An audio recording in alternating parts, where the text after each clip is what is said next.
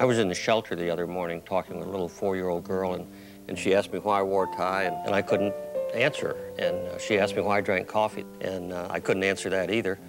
And we continued to talk, and she told me her sister was in the corner in a high chair, and uh, then the older children came through on their way to school, and this beautiful little 10-year-old girl stopped and gave her a quick hug, and, and we continued to talk, and pretty soon the little girl said, that was my other sister. She really likes it here.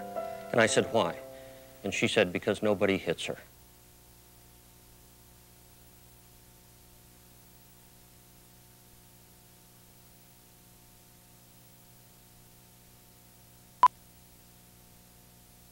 The baby looked so tiny lying there in the crib. I very, very cautiously picked him up and took him to the rocking chair.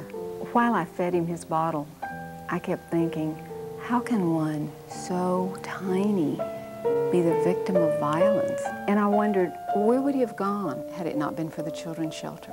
I've seen child abuse firsthand, and I'm just so thankful the children's shelter has been there.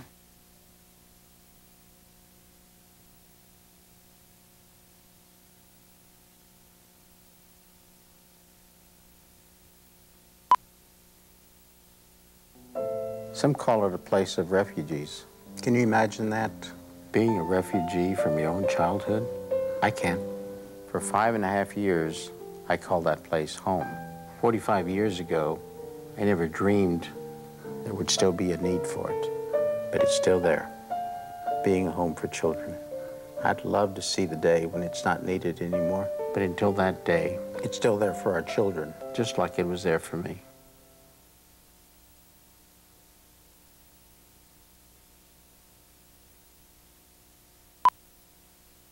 I've lived a fortunate life.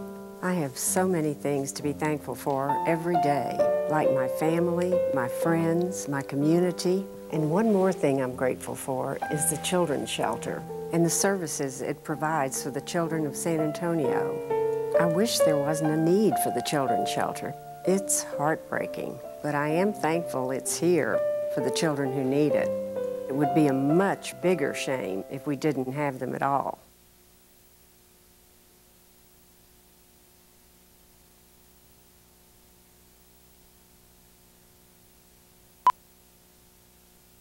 We started out as the San Antonio Animal and Children's Humane Society with a staff of one part-time. Of course, now, over 100 years later, our 240 employees serve over 1,000 children a year.